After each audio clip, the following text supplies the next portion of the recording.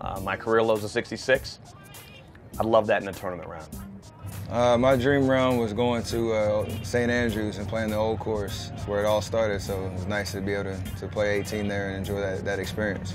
A round of golf where I only have to use a half a dozen balls. But I would have to say it would be me, my father, uh, Jack Nicklaus, and Tiger Woods because I think both of them were each of our favorite players. Probably when I'm all said and done, and hopefully I go up to, to see my dad and my son uh, and get a chance to play golf with them up in heaven.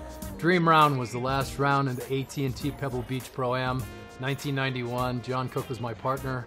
We were paired with Paul Azinger.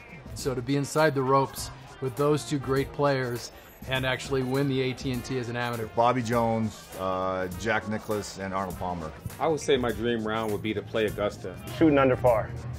My dream round happened this year, and I got to play with the POTUS, the President of the United States. I would love to play with the President of the United States. That'd be cool. Just as one of those rounds where I, I just hit everything nice to the pin and I got off the tee, and that's why they call it a dream round.